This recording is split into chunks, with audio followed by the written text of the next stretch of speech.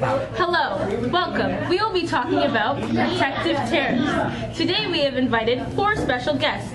McDonald, an anti-tariff speaker from USA, a pro-tariff speaker from Canada, and Justa Bieber from Manitoba. Can we please welcome McDonald? Hello, Cobra Minfree. The way your eyes glisten in the sun. There is no sun in here. Oh, Did you bring the Big Mac? what Big Mac? Oh, forget it. Now, can we please welcome the anti-tariff and pro-tariff speakers? Hello, everyone. Thank you very much. What are they doing? You can sit down now. Now, can we please invite Justa Beaver from Manitoba? Okay, settle down, settle down, settle down. Settle down. We need to get to the serious business about protective tariffs. So who enforced these protective tariffs? Well, obviously me, because I'm the only one that could have thought of such a brilliant idea, you know. What a brilliant man. With these productive tariffs, the Canadian economy will improve and will create more jobs. Calling him brilliant? Are you even aware of what creating new jobs can cost? No, please tell us. It causes Canadian index industry to have a chance to develop.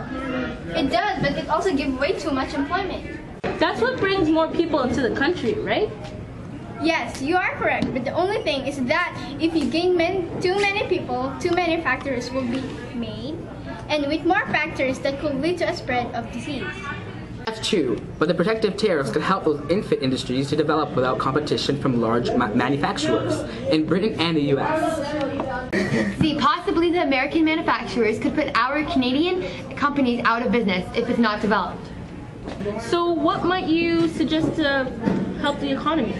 For, for one, Canada is way too dependent on the sales of products, which in the past, when demand for those products went down for our Canadian economy. So what are you trying to say? I'm trying to say that Canada needs to become more independent with- for other countries.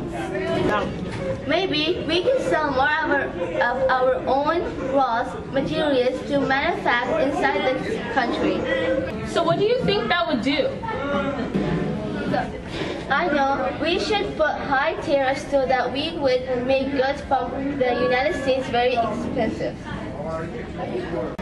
Yes, I think we should, because then Canadians would trade with other Canadians instead of with the Americans. And if the American goods have high tariffs, that would encourage that. No way, goods made in Canada cost more than goods made in USA, and they should stay that way. I think that the problem is just that the tariff made goods from other countries more expensive than Canadians' goods. Now we have two commercials brought to you by Cobra Minfree. Does your boyfriend have bad breath? Yes. Is this God? Is this God? Is this God? Well then, just give him a mint. No mints. I'm Cobra Minfree and I approve this message. Do not get any mints. Only gum. Here's a note to take. Protective tariffs are high taxes on imported goods to protect Canada manufacturers. Next week, we will be talking about the Transcontinental Railroad. Now, last but not least, Justin Bieber Justin Bieber.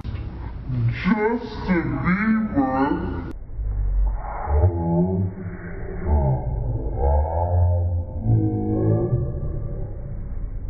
Justin Bieber.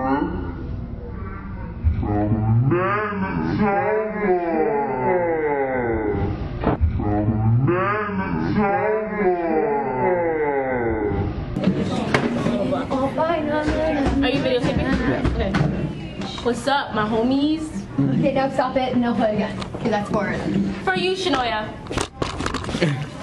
Oh, we can't put Have a chance to. You're killing me, Ronnie. You're embarrassing me.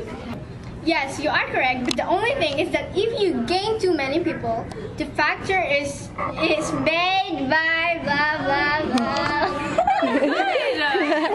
Many people. Does your boyfriend have bad breath?